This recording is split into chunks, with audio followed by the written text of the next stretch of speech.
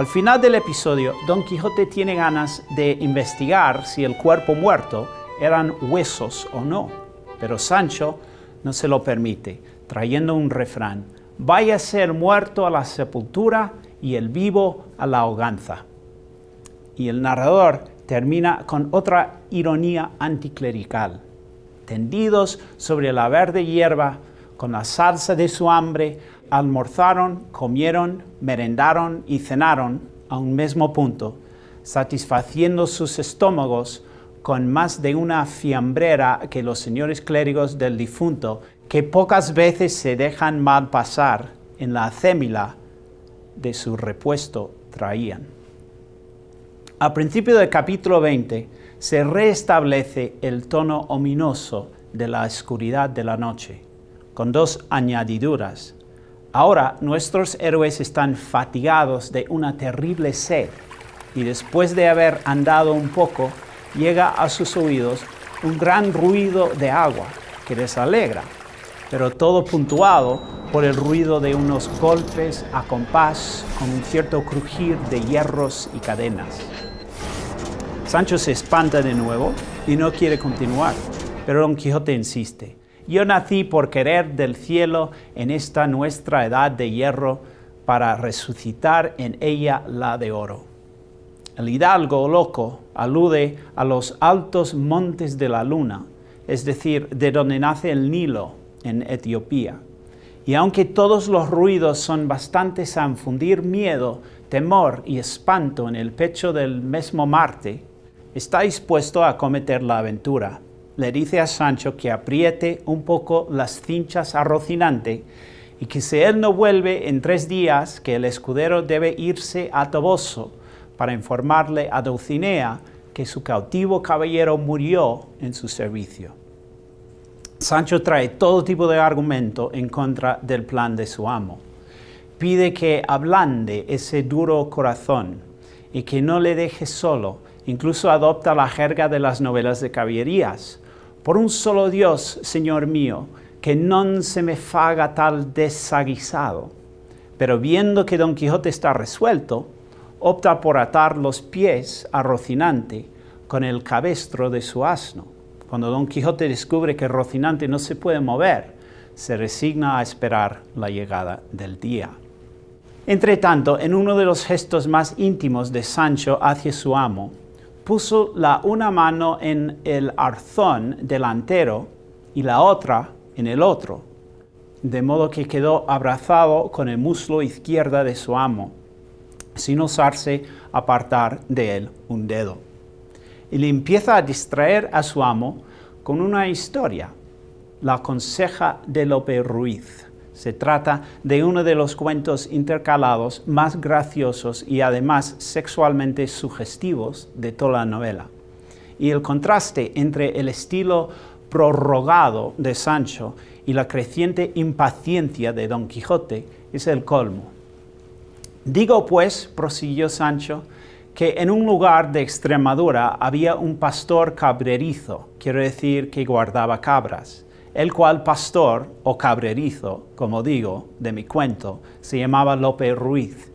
Y este Lope Ruiz andaba enamorado de una pastora que se llamaba Torralba, la cual pastora, llamada Torralba, era hija de un ganadero rico. Y este ganadero rico, si de esa manera cuentas tu cuento, Sancho, dijo Don Quijote, repitiendo dos veces lo que vas diciendo, no acabarás en dos días evidentemente.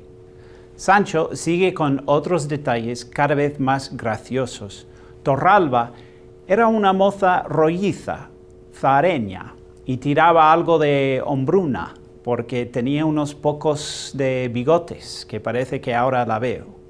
Incluso en estos detalles vemos alusiones a temas familiares, a veces aún trascendentales. Por ejemplo, Torralba tiene reminiscencia de Maritornes y además el motivo emocional de la historia, la razón por la cual López Ruiz decide huir de la Torralba, es una cierta cantidad de celillos que ella le dio. Esto nos tiene que recordar el romance de Antonio y toda la historia de Grisóstomo y Marcela, e incluso al arriero de la segunda venta.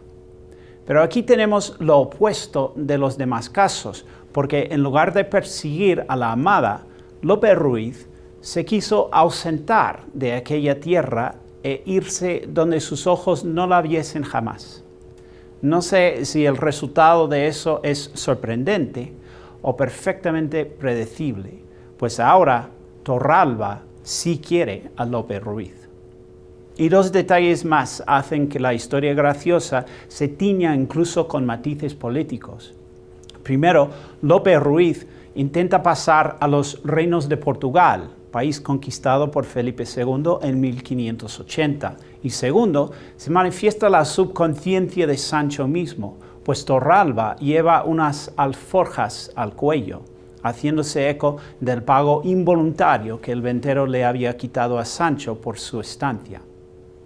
Al final, el cuento se vuelve en algo reconocible para todo padre de niños que no quieren dormirse.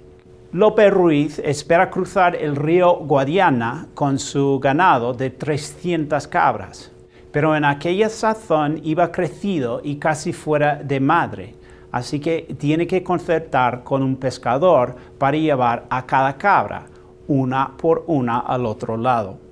Sancho le avisa a Don Quijote que tiene que contar una a una las cabras, porque si se pierde una de la memoria, se acabará el cuento. Y cuando el hidalgo interrumpe y luego no puede decir cuántas cabras han pasado el río, la aconseja, según Sancho, tan acabada es como mi madre. ¿Es la historia de López Ruiz simplemente una fábula para niños? O se esconden detalles más psicosexuales aquí. A Sancho le da igual, no hay más que decir, que ahí se acaba do comienza el hierro de la cuenta del pasaje de las cabras. Entre tanto, sigue el crujir de hierros de ahí Sancho sigue teniendo tanto miedo que no osaba apartarse un negro de uña de su amo. Espera un momento, hierro, hierros. Puede que este cuento que nos pide contar tenga algo que ver con sus elementos más básicos, es decir, con cómo o por qué contamos cuentos.